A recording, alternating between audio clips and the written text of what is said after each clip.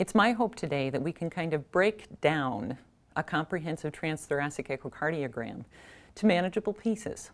There's a lot involved. Let's go ahead and get started. The first thing I'd like to cover is the standard windows.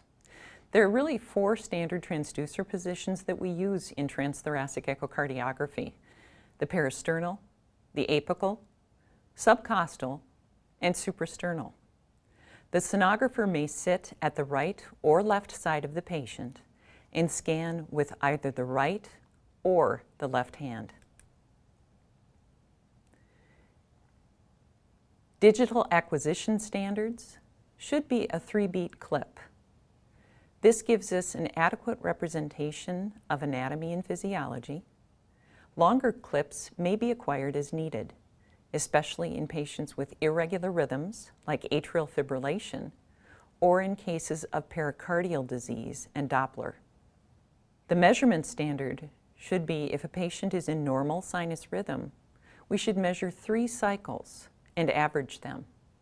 If a patient is in atrial fibrillation or an irregular rhythm, measure at least five cycles and average those measurements.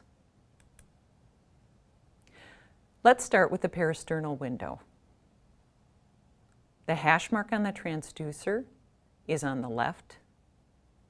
And you can see we have a nice view of the left ventricle by rotating 90 degrees in a clockwise fashion and tilting a little superiorly, we can have the short axis view at the level of the aortic valve. By moving slightly inferiorly, we're actually moving into the left ventricle.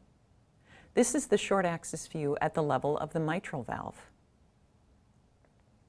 by either angling or sliding down a little further toward the apex. We then see the left ventricular short axis view at the level of the papillary muscles. And by sliding even a little further out, we have a very nice view of the very apex of the heart, or the short axis view at the apical level.